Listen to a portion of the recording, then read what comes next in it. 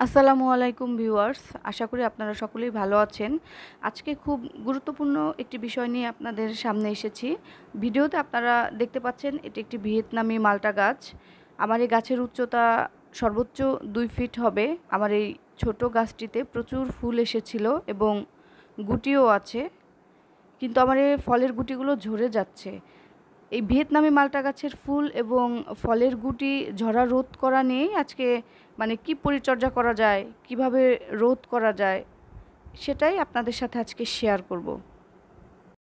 এখানে আমি এক চা চামচ এমওপি অর্থাৎ মিউরেট অফ পটাশ, আর হাফ চা চামচ নেব সলুবর বোরন, এক লিটার পানির সাথে ভালোভাবে মিশিয়ে নিচ্ছি। আর এ পানিটা আমি গাছের গোড়ায় দিয়ে দেব। এভাবে আপনারা মাসে একবার অথবা সর্বোচ্চ দুইবার গাছের গোড়ায় দিতে পারবেন। এর বেশি দিলে কিন্তু গাছ মরে যাবে। ভিয়েতনামি মালটা গাছে যখন ফুল আসে বা ফলের গুটি হয়, তখন একটা বিষয় খেয়াল রাখতে হবে যাতে গাছের গোড়ার মাটি শুকিয়ে না যায়। অর্থাৎ দু একদিন পর পর মাটি বোঝে, পানি দিতে হবে। আর এটাও খেয়াল রাখতে হবে যেন অতিরিক্ত পানি জমে না থাকে, তাহলে কিন্তু গাছের শেকড় পচে যাবে বা গুটি ঝরে যাবে, গাছের ক্ষতি হবে।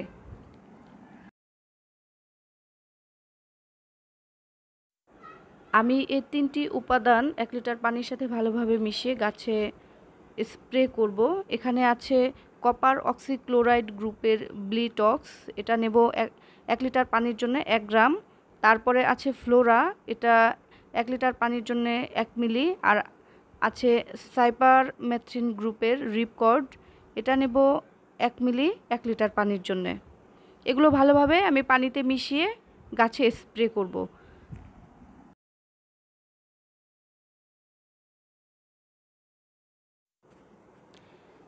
স্প্রে করার সঠিক সময় কখন?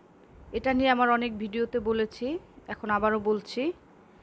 স্প্রে যখন রোদ না থাকে, সাধারণত তখন স্প্রে করা উচিত। বিকাল টাইমে সঠিক। আর যখন বৃষ্টি না থাকে, তখনও স্প্রে করা যাবে।